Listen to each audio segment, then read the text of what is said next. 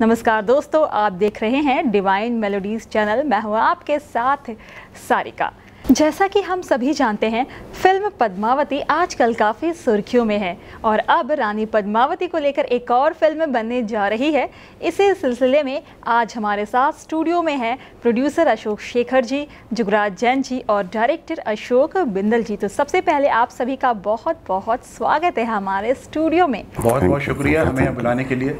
हमने सुना है कि आप पद्मावती को लेकर एक फ़िल्म बनाने जा रहे हैं जो ऑलरेडी बन चुकी है और काफ़ी सुर्खियों में है। हाँ जी हम बनाने जा रहे हैं और हमारे डायरेक्टर साहब इस बारे में डिटेल में बताएँगे। पद्मावती जो हम बनाने जा रहे हैं ये एक असल कहानी जो है उस पर हम पद्मावती बनाने जा रहे हैं। ये कल्पना से परे है। ये सच्ची कहानी जो है उस पर हम लोग इस फ़िल्म को बनाने जा रहे हैं। इसमें कहीं से भी हमने कोई काल्पनिक चीज़ का इस्तेमाल नहीं करना है और ना ही कर रहे हैं। अब इस फ़िल्म के टाइटल के बारे में हमारे दर्शकों को बताएँ। इस फ़िल्म का टाइटल हमने रखा है मैं हूँ महारानी पद्मावती हिंदी में और राजस्थानी में है हमारी महारानी हमारी महारानी पद्मावती। फ़िल्म को आप हिंदी और राजस्थानी दो भाषाओं में बनाने वाले हैं। तो आखिर इस मूवी को दो भाषाओं में ही आप क्यों बना रहे हैं? राजस्थान में पद्मावती राजस्थानी के होने से राजस्थान में फ़िल्म बननी चाहिए। राजस्थानी फ़िल्म बननी चाहिए। और हिंदी हमारी भाष- राष्ट्रभाषा है तो यहाँ बनना बहुत ज़रूरी है। अब हम इस फ़िल्म के स्टार कास्ट के बारे में आपसे जानना चाहेंगे कि आखिर कौन कौन से चेहरे इस मूवी का हिस्सा बनने वाले हैं। हम लोगों ने डिसाइड किया कि तीन मेन कैरेक्टर जो हैं पद्मावती रतन सेन। रतन सिंह और खिलजी। ये तीनों नए कैरेक्टर होंगे।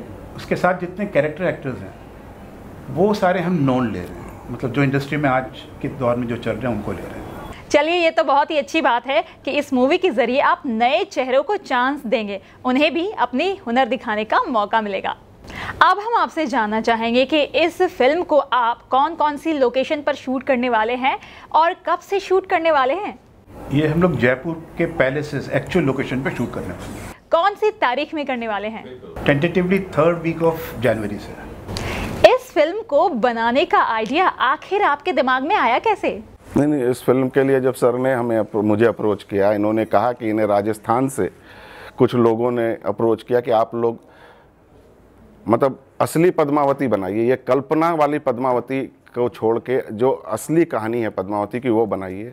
और उसके बाद इन्होंने कुछ मुझे आइडियाज़ दिए और कुछ हमने किताबों को पढ़ा कुछ नेट से चीज़ें निकाली। कुछ और लोगों को रेफर किया। रेफ़र किया कुछ स्टोर हैं। हम्म, और उसके बाद हमें लगा कि जिस तरीके से लोग उन्हें आस्था की देवी मानते हैं तो हम भी जो है असल पद्मावती पे कहानी बनाए और फ़िल्म बनाएँ तो इसलिए हमने सोचा कि ये फ़िल्म हम भी बना दें। इस फ़िल्म को बनाने के पीछे आखिर क्या मकसद है?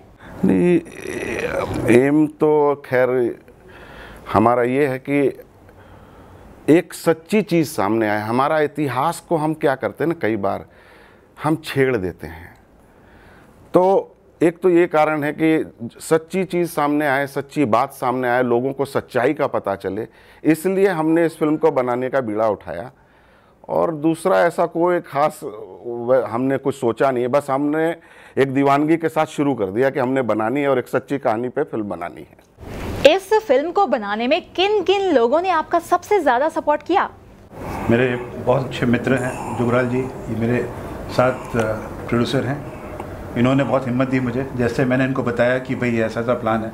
तो इसने कहा पूछने की क्या बात है? शुरू करते हैं। इसके अलावा मेरे कुछ जयपुर में दोस्त हैं जिन्होंने बताया कि भाई अगर आप लोग असली पद्मावती को पेश कर सको तो बहुत अच्छी बात है। तो ये आइडिया मैंने डायरेक्टर साहब से डिस्कस किया। तो इनको भी बहुत अच्छा लगा। जिन जिन लोगों से बात कर रहा हूँ सबका कहना है कि लोगों तक असलियत पहुँचनी चाहिए। इसीलिए हम लोगों ने फ़िल्म को बनाने में कौन कौन से लोग आपका सपोर्ट कर रहे हैं? हमारे बहुत प्रिय मित्र हैं लिरिक्स राइटर सीनियर जिन्होंने बहुत बहुत हिट गाने दिए हैं, मदन पाल जी। मैं चाहूँगा कि मदन पाल जी भी यहाँ आएँ। मदन पाल जी ने मेरे साथ बहुत काम किया है, मेरे काफ़ी सीरियल्स में लिखे हैं। हमने एक साथ में म्यूज़िक एल्बम बनाया था, अमानत, जो बहुत बड़ा हिट था और बहुत बढ़िया गाने लिखे थे इन्होंने। इसलिए मैंने इनको जोड़ा खासकर यहाँ पे। ये हमारे बहुत अच्छे गाइडेंस हैं वेल विशर हैं। मैं चाहूँगा कि कुछ मदन जी बताएँ। मदन पाल जी से हम जानना चाहेंगे इस फ़िल्म को लेकर आपकी क्या राय है? आप क्या कहना चाहेंगे? मैं ये कहना चाहूँगा कि जैसे डायरेक्टर साहब ने कहा कि असल असल असल ज़िंदगी के ऊपर जो फ़िल्म बनेगी तो उसके गीत भी असल होंगे। और हम सब लोग कोई इसमें बनावटी नहीं है। अशोक शेखर जी का जो चुनाव है इनका जो इंतखब है। वो हमें पता है कि ये चुन चुन के रखते हैं। तो इसलिए इन्होंने हमें चुना है इनके जो साथ हमारे जुगराल जुगराल साहब हाँ, और साहब ने जो चुना है हमें डायरेक्टर साहब ने भी तो हम चाहते चाहेंगे कि इसके गीत सुपर डुपर हिट हों क्योंकि मुझे तो हिट होने की आदत है। मेरे सारे गीत हिट हैं। मैं चाहूँगा कि मेरी कोशिशें रंग लाएँ और मैं अशोक जी डायरेक्टर साहब प्रोड्यूसर साहब के लिए अच्छी अच्छी गीत लिख सकूँ। और पद्मावती का नाम हो और फ़िल्म खूब चले ये मेरी दुआएँ। मदन पाल जी इस फ़िल्म में आप किस टाइप के गाने लिख रहे हैं? क्या थीम है आपके गाने का? फोक सॉन्ग्स इस फोक आधारित गीत होंगे इसमें और जो ज़िंदगी से जुड़े हुए गीत और एंटरटेनमेंट भी रहेंगे ऐसा नहीं है कि पूरी कोई दूसरी बात होगी इसमें एंटरटेनमेंट भी करेंगे लेकिन उसमें जो असल ज़मीन है ना वो नहीं छोड़ी जाएगी। इसलिए मैं उम्मीद करता हूँ कि ये गीत हमारे पूरे नोटिस होंगे। जब भी हम कुछ नई चीज़ करते हैं तो उसे लेकर बहुत ज़्यादा एक्साइटमेंट होती है हमारे मन में। तो आपकी टीम में इस मूवी को लेकर क्या एक्साइटमेंट है? बहुत बहुत ज़्यादा एक्साइटमेंट है। हम लोगों की नींद उड़ी हुई है। पिछले दस दिन से हम लोग मुश्किल से दो दो घंटे सो रहे हैं क्योंकि वॉर फुटिंग पे काम चल रहा है।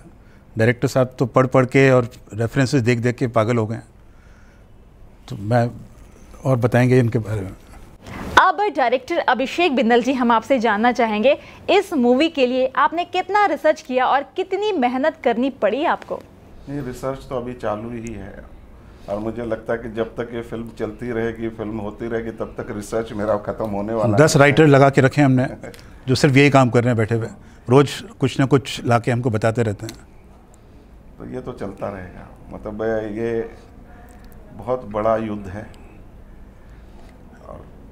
बस ईश्वर से कामना है कि इस युद्ध में हमारी जीत हो। हम भी यही चाहेंगे हमारी पूरी टीम ये चाहेगी डिवाइन मेलोडीज की आपकी युद्ध में जीत हो।